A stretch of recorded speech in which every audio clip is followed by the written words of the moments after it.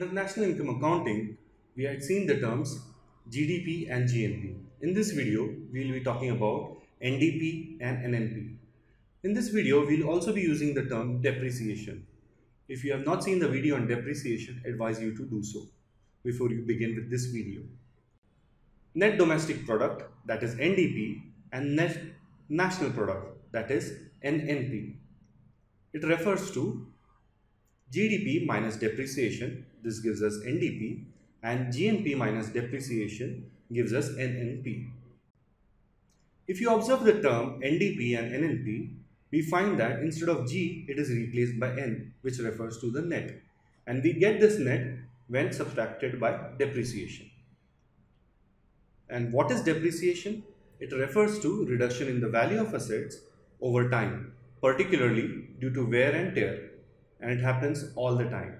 That is either while producing the goods or by providing the services. When we deal with the question about what a country has earned, we are generally referring to national income, which is net national product NNP, which is given by GNP minus depreciation, which is given by GDP plus net income from abroad minus the depreciation. Now it is important to note that national income can also be given in GDP or GNP only. But to get a more realistic and correct picture of economy, majority of countries use NNP. And when we divide NNP by the total population, we get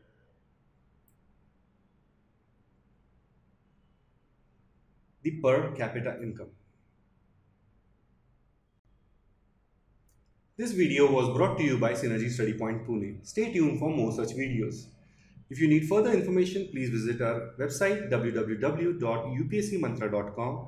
You can also like us on our Facebook page www.facebook slash synergyspoint and also you can subscribe to our YouTube channel Synergy Study Point. Thank you.